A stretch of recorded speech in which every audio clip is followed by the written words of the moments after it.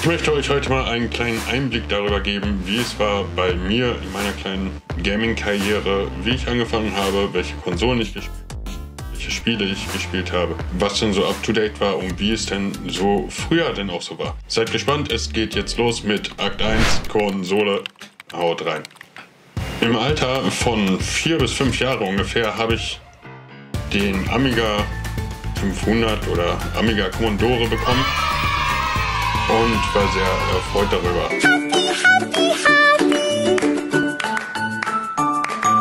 Mit zwei Controllers hatte ich das ganze Ding und äh, damals war es noch so gewesen, es wurde die ganzen Spiele auf 3,5 Zoll Disketten gespeichert und äh, ja, da musste man immer die Disketten einschieben und dann konnte man spielen.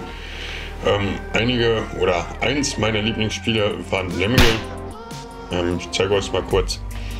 Und zwar geht es darum in dem Spiel, dass man diese kleinen komischen mm, blau-grünen Männchen dort ähm, halt retten muss. Und man hat immer eine gewisse Anzahl und man hat ähm, dort oben steht dann immer eine, eine Uhr, die dann abläuft. Und dann muss man versuchen, diese kleinen Männchen, sag ich mal 10 von den Männchen oder 100 von den Männchen, das sind dann so verschiedene Anforderungen, die dann durchs Level zu be bekommen mit verschiedenen Tools über verschiedene Hindernisse, wo es aber immer wieder darum geht, dass wenn man nicht richtig aufpasst, dass diese äh, kleinen Dubskins, so gesehen, diese kleinen Lemminge, äh, sterben.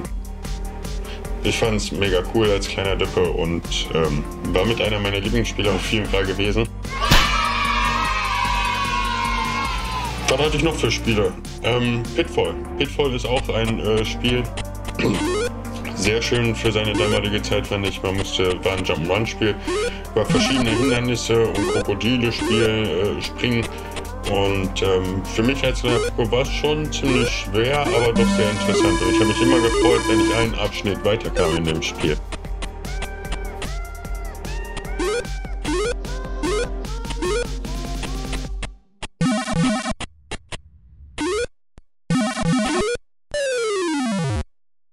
Ja, bis dann irgendwann auch mal Bananensaft leider Gottes über meinen Amiga 64 gekippt ist und äh, ja. Damit war das Ding dann Schrott gewesen. Mein Schatz, mein Ein und alles, Bananensaft, oh nein, ein großes Malheur. Du warst tot, mein geliebter Amiga, mein treuer Gefährte. Damals hatte mein Vater eine Super Nintendo ausgeliehen gehabt aus der Konsole. Ich weiß nicht, die ersten Spiele waren F-Zero, König der Löwen und die Super Nintendo, die hat uns damals so begeistert, dass mein Vater uns sie dann auch damals gekauft hatte. Und wir hatten dann aber allerdings auch so coole Spiele gehabt wie Rooftop, das ist ähm, Goofy und Max. Ich blende es halt mal ein, wirklich ein geiles Spiel. Goofy Max ist ein Action-Adventure-Spiel, das von Capcom im Juli 1993 in Nordamerika entwickelt und veröffentlicht wurde. In Europa allerdings kam es erst am 25. November. Das Spiel kann sowohl im Einzelspieler als auch im Multiplayer-Modus gespielt werden, wobei ein Spieler Goofy und der andere Max kontrolliert. Goofy und Max ist eines der ersten Spiele, die von Shinji Mikami entworfen wurde, der für seine Arbeit an der Resident Evil Serie bekannt wurde. Kurz zu dem Spiel. Der Spieler spielt als Goofy oder Max und arbeitet sich durch fünf Bereiche auf Spooner Villa Island am Strand, in einem Dorf, unter Belagerung, einer Spukburg, einer Höhle und schließlich dem Piratenschiff, wo Pete und PJ gefangen gehalten werden. Goofy bewegt sich langsamer als Max, kann aber den Feinden mehr Schaden zufügen. Das Ziel jeder Ebene ist es, verschiedene Rätsel zu lösen, um das Ende der Bühne zu erreichen und den Chef zu besiegen. Obwohl Goofy und Max nicht direkt kämpfen können, können sie verschiedene Methoden verwenden, um Feinde wie das Werfen von Objekten wie Fässern oder Bomben auf sie zu werfen und sie somit zu besiegen. Blöcke in sie zu treten, sie von der Bühne zu stoßen oder sie in den Weg der feindlichen Angriffe zu locken. Während des Spiels können die Spieler verschiedene Sammelstücke finden, die ihnen helfen können. Das Sammeln von Obststücken kann Max oder Goofy vor einem einzigen Hit schützen. Mit zusätzlichen Leben, wenn der Spieler eine der bestimmten Menge an Früchte sammeln kann, ohne getroffen zu werden. Wenn ein Spieler im Multiplayer sein ganzes Leben verliert, kann er mit drei Leben weiter respawnen, wenn der Spieler auf einen anderen Bildschirm wechseln kann. Wenn jedoch beide Spieler ihr ganzes Leben auf den gleichen Bildschirm verlieren, ist das Spiel vorbei. Andernfalls müssen sie von Anfang an mit einem Passwort fortfahren. Also damals konnte man nur über Passwörter sich sozusagen dort wieder an den Level buxieren.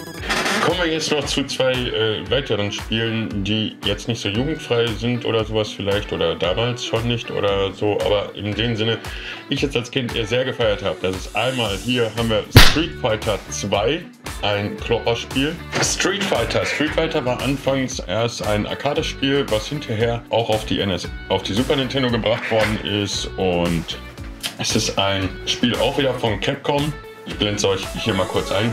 Es ist eines der erfolgreichsten und bekanntesten Titel und Teile der gleichnamigen Spielserie. Nach der Erstveröffentlichung auf dem CP-System im Februar 1991 wurde Street Fighter 2 über die Jahrzehnte auf diversen Plattformen ähm, portiert und mehrfach neu aufgelegt. Das Arcade-Spiel Street Fighter 2 von 1987 wies bereits einige Merkmale der Nachfolger auf. So war es in 2D Fighting Game bei dem sich jeweils zwei Kämpfer vor exotischer Kulisse bekämpfen und man als Spieler durch bestimmte Tastenkombinationen Spezialangriffe wie Feuerbälle oder Spezialschläge anwenden konnte. Anfang der 1990er Jahre begannen dann beide Entwickler Akari Nintani und Akari Yasadu, Yasada mit der Entwicklung von Street Fighter 2.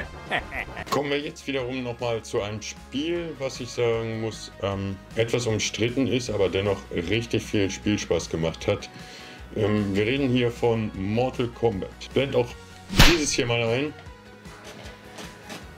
Mortal Kombat ist ein Videospiel aus dem Kampfspielgenre, welches vom Programmierer Ed Boon und Designer von John Tobias konzipiert und von den US-amerikanischen Softwarefirma Midway, heute Netherreal Studios, entwickelt wurde. Die 1992 in Spielhallen erschienene Antwort auf das populäre Capcom-Spiel Street Fighter II bildet den Grundstein der heute meistverkauften Spielreihe des Genres. Das Spiel enthält äußerst explizite Gewaltdarstellungen, die teilweise zur Gründung des Entertainment Software Rating Board ESRB sowie zur vorübergehenden Identität auf gut Deutsch, es wurde vom Staat eingezogen und keiner durfte es spielen, weil es auf der schwarzen Liste war. Es erschienen mehrere Fortsetzungen, Spielfilme, Trickfilme, TV-Serien und Merchandising-Produkte. Kommen wir jetzt aber wieder mal zu einem Spiel, was wirklich sehr familienfreundlich ist und was uns als Familie auch am allermeisten Spaß mit verbreitet hat. Und zwar, das ist Super Soccer. Ich meine, wer kennt es nicht, ne? aus dem Jahre 1991 veröffentlicht und 1992 dann auch in den USA veröffentlicht.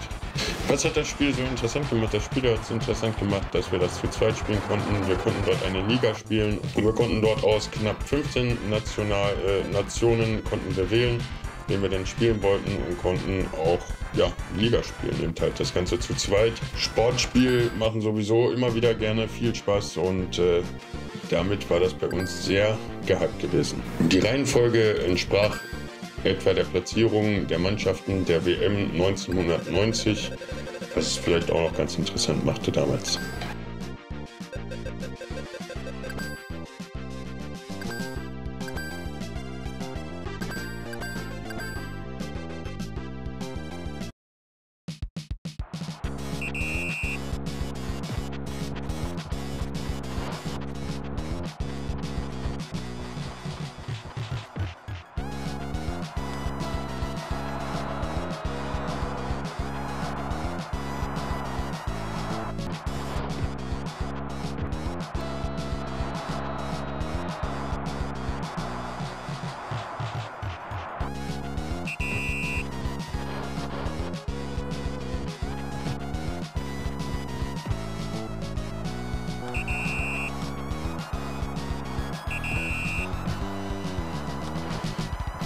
Wenn euch das Video gefällt und ihr mehr von solchen geilen Videos sehen wollt, dann vergesst nicht zu liken, zu abonnieren und zu teilen. Wir sehen uns im nächsten Teil, Teil 2.